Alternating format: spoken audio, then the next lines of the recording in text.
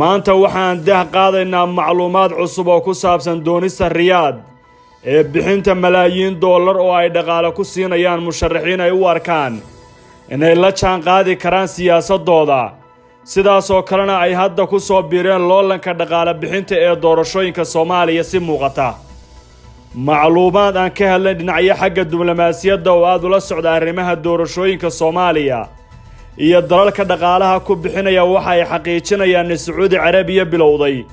Inay hadda safka hore ka gasho dalalka loolanka ugu jira inay soo saaraan. Madaxweyne soomaaliya oo ay wataan una furiya danahooda. Codadkana ay malaayiin dollar uga iibiyaan. Maxamed bin salmaan. Dhaxal sugaha awoodda badan ee boqortooyada sacuudiga oo haddana ah nin awooddiisu ay saamayn ku leedahay gobolka waxa uu diiradda saarayaa sidii uu saamayn ugu yeelan lahaa arrimaha gudaha ee soomaaliya. Dhaqaale ayaa la siinayaa shakhsiyaad ay sacuudigu u arkayaan inay xambaari karaan fikradahooda isbeddelay riyaad muddo dheer ayay taageero u siinaysay kooxaha salafiyiinta ee soomaaliya ku sugan qaarkood.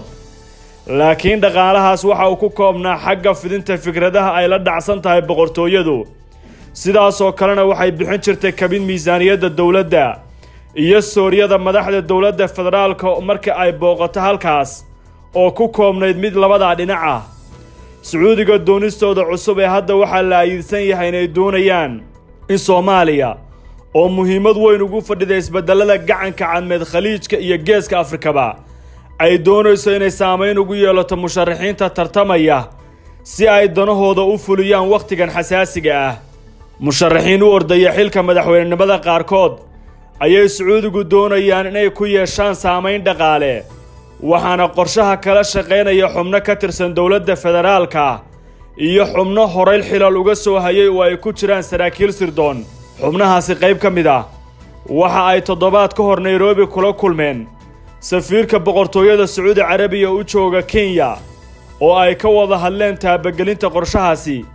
Waxaa ku jira in casumaad loo fidiyo xubno ka mid a musharaxiinta iyo weliba dad saamayn ku leh arrimaha gudaha ee soomaaliya. Bilowgii qorshaha ra'iisul wasaare maxamed xuseen rooble oo ah howlfuliyaha howlaha doorashooyinka ayaa gaaray sacuudi carabiya maalmo ka hor. Booqasho ay dowladdu ku sheegtay inay tahay cumro. Haddana ilo wargala waxay xaqiijin inay qayb ka tahay qorshaha sacuudiga ee ku wajahan doorashooyinka soomaaliya. Rooble oo ay kaga horreeyeen sacuudiga xubno ka tirsan dadka cilaaqaadka dhowlala riyaad ayaa qayb ka noqonaya fulinta qorshaha cusub. Waxa uu heli doonaa dhaqaale xooggan oo uu ku maamulo howraha doorashooyinka hadda loo madlan yahay. Qaybta uu ka fulin karo master rooble qorshaha ayaa ah in la soo saaro xubno ka tirsan guddiga doorashooyinka heer federaal ilaa heer dowlad goboleed. Xubnahaas ayay doonayaan sacuudigu inay kala shaqeeyaan soo saaridda xildhibaano diyaarsan xogaha la helaya waxay tilmaamayaan in sacuudigu ay doonayaan inay qorshahooda ka bilaabaan in la soo saaro xildhibaano fikir ahaan u aaminsan oo ay ku jiraan salafiyiinta la dhacsan aragtida maxamed bin salmaan ee cusub. Sidaasoo kale ay la dagaalami doonaan cid kasta oo ah ururada kale ee horay bahwadaagta ay ula ahaayeen sannadaha dheer boqortooyadu. Madaxweyne farmaajo ayaa safarkii ugu horreeyey ee uu ku tago meel ka baxsan soomaaliya markii la doortay sannadkii laba kun toddoba-iyo toban bishii febraayo ku tegay dalka sacuudi carabiya xilligaasi waxa uu kulan la yeeshay madaxda ugu sarraysa ee dalka. Mana ahayn booqashadii koowaad ee waxaa ka dambeeyay dhowr booqasho oo kale.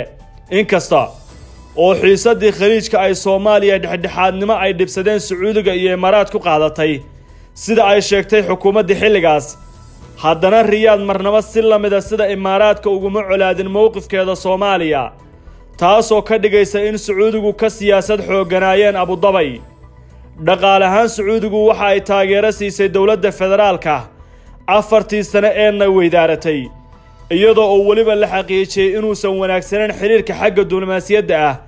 Haddana soomaaliya ayaa sacuudiga ku taageertay arrimo badan oo ay ka mid yihiin dagaalka xuutiyiinta iyo sacuudiga ka dhexeeya. Mowqifka sacuudiga ee dhaqaale ku bixinta doorashooyinka iyo ku soo biiridda waddamada dhaqaalaha ku bixinaya gudaha soomaaliya. Waxa ay ka dhigaysaa gaar ahaanna loolanka oo sii adkaan doona. Waxaana dhinacyada u janjeera fikirka sacuudiga ee ku sugan soomaaliya. Ay hadda u kala qaybsan yihiin laba garab oo kala aaminsan. In lagu dheganaado fikradihii hore ee sacuudi carabiya ku soo galeen dunida islaamka. Iyo aragtida cusub ee maxamed ibni salmaanka dhexal sugaha awoodda fulinta ee boqortooyada la wareegay oo la jaan qaadaysa xadaaradda reer galbeedku ay durbaanka u tumayaan. Khilaafka kooxahan ee gudaha waxa ay ka dhigaysaa inay koox saddexaad ka faa'iidaysan doonto inay wakiil ka noqdaan faragelinta sacuudiga ee arrimaha doorashooyinka gudaha soomaaliya.